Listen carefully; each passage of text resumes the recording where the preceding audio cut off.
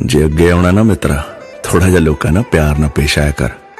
ਮੱਥੇ ਤੇ ਤਿਉੜੀਆਂ ਤੇ ਮੂੰਹ ਬਣਾਉਣਾ ਬੰਦ ਕਰ ਦੇ। ਵੈਸੇ ਵੀ, ਜ਼ਿੰਦਗੀ 'ਚ ਤੂੰ ਅੱਗੇ ਨਹੀਂ ਆ ਸਕਦਾ।